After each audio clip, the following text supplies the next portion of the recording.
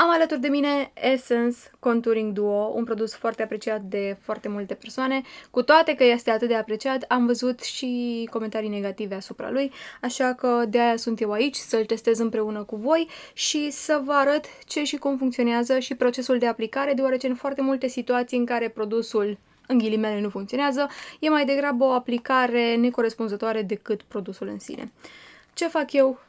Cu produsul ăsta. Este bineînțeles pentru contouring și mie îmi place să folosesc o pensulă relativ micuță pentru acest pas. Și de asemenea folosesc și ambele nuanțe din paletă. Îmi place mai întâi de toate să aplic nuanța mai deschisă, apropo eu am paleta 10 Lighter Skin pentru pielea mea deschisă.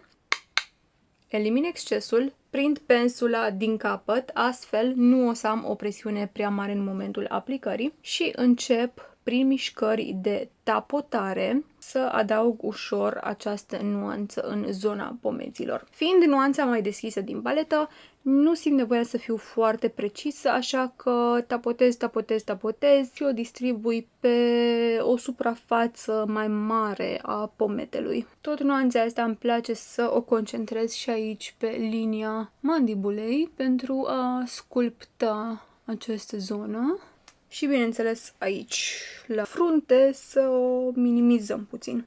După cum vedeți, e nuanța deschisă, așa că puteți să reveniți asupra situației ori de câte ori considerați că este nevoie și astfel procesul este unul uh, repetitiv și astfel nu riscați să aplicați mult prea mult dintr-o dată.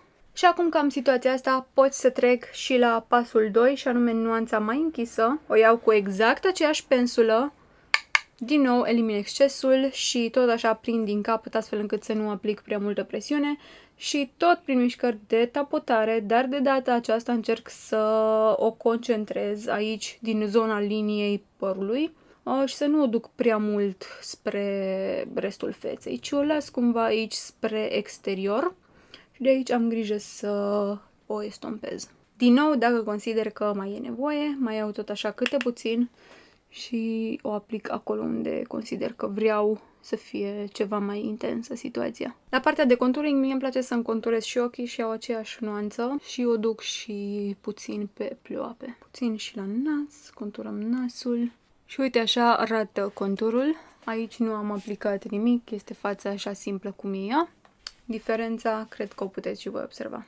Și v-am dus și super aproape ca să vedeți cum arată totul de aproape. Este foarte bine stompat. Nu ai ce să-i bagi de vină.